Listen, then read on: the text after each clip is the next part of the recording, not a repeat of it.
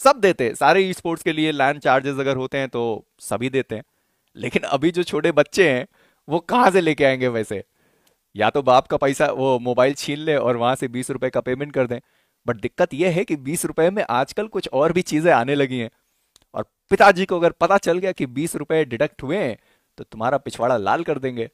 तो थोड़ा सा बट ठीक है आ, जो है भाई वही है। कोई बात नहीं तुम लोग ऑफिशियल मैचेस का इंतज़ार करो। मस्त आराम से आना मैचेस देखना एंजॉय करना।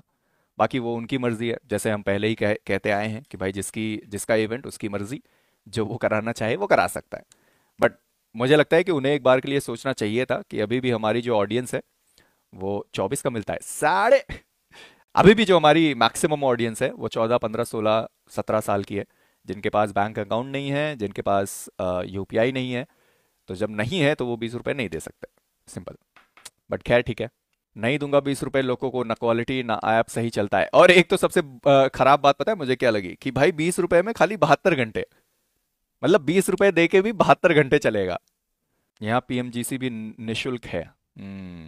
How can be watch from Bangladesh अरे यहाँ भारत वाले नहीं देख पा रहे हैं, आपको बांग्लादेश से देखना है। मैं सच में तुम लोगों से एक ही जस्ट रिक्वेस्ट करूँगा कि भैया देखना है, देखो। नहीं देखना है मत देखो, शांत बैठे रहो। सिंपल